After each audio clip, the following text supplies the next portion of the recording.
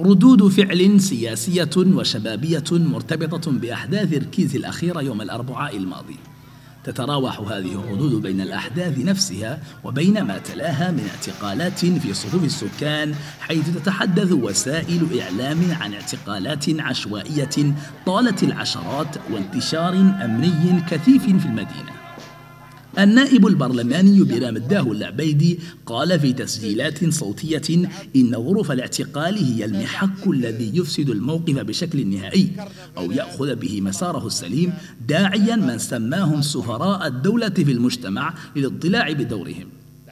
فيما وصفت افتتاحية لحزب الصواب أحداث الركيز بأنها اعتداء سافر على مصالح عمومية وهدم لهيبة الدولة ورموزها داعية إلى محاسبة مرتكبيه أشد محاسبة وكان المسؤولين عن الفساد والنهب والمحسوبية والزبونية والظلم. حزب تواصل بدوره شجب أعمال الشغب التي صاحبت الاحتجاجات وعبر عن أسفه لتضرر منشآت عمومية وتعرضها للحرق والتكسير.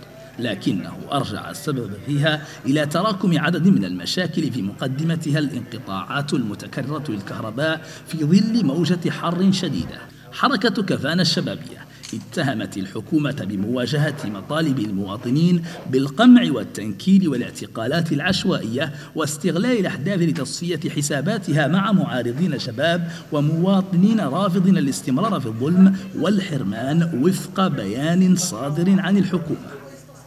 وكانت وزارة الداخلية أصدرت الأربعاء بيانا مقتضبا وصفت فيه المحتجين بالمخربين وتوعدتهم بالاعتقال والمحاسبة مؤكدة أنها لن تتردد في معاقبة الضالعين منهم في زعزعة السكينة العامة والاستقرار وبعثت بتعزيزات أمنية إلى المدينة واعتقلت عشرات الناشطين. فيما ذكر الناطق باسم الحكومة أن مولدات الكهرباء الموجودة في الكيز مولدات احتياطية قصيرة المدة. وأن هناك خطة لاستبدالها بأخرى رئيسية. خالصا إلى القول إن الاحتجاج غير مبرر مطلقا في ظل مساعي حل العجز وإن التطاول على الأماكن العمومية خط أحمر سيحال متجاوزوه للعدالة.